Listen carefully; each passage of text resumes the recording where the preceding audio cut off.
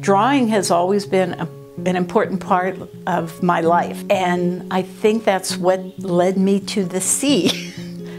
because essentially, we, Sam and I would go up to Ogunquit and to Perkins Cove, and we used to stay, well, we still do, at the little motel so I could just walk over and do whatever I wanted to do. And I would go over there, and at that time I could get down on the rocks, which was fun, uh, and draw. And it was great. It seems like I can't work unless I get there and I can feel the tremendous power uh, of the sea.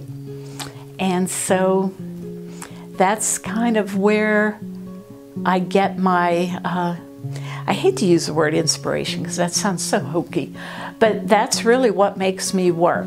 For me, it's I need to capture my special moment through the use of rhythm and line and color and the way the paint handles.